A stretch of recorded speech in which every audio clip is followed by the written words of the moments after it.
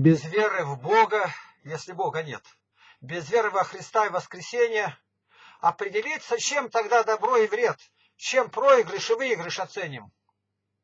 Какая разница, все по боку, под хвост, страданием оправдания не наклеишь, ты все равно умрешь, ответ так прост, хотя в музей спроворят лучший лемех. Я знаю, хитрые, лукавые восстанут, мол, в памяти народной во внуках мы остаемся с ними, а они с нами. Утешься тем, что крышкой полбу стукнет? Э, нет. Живые мысль это живом, животрепещущее не с могильным тленом.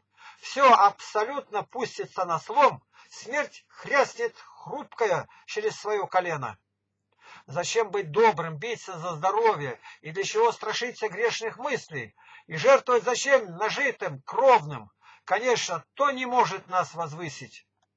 От резвости хлопочут и о спорте, но для чего, когда за гробом пусто? Болезнь любая замысла испортит, здесь не поможет интеллект и искусство. Но если знаешь, что с тобой Христос, избавивший от смерти и гиенны, в своих глазах тогда любой возрос, Христос сразил своей смертью тление. С Иисусом все осмысленно и важно.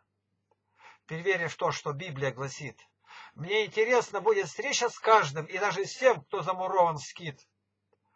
При вере искренней, превозмогая боль, в опасности пригреемся с героем. Без веры жизнь бессмыслица и ноль.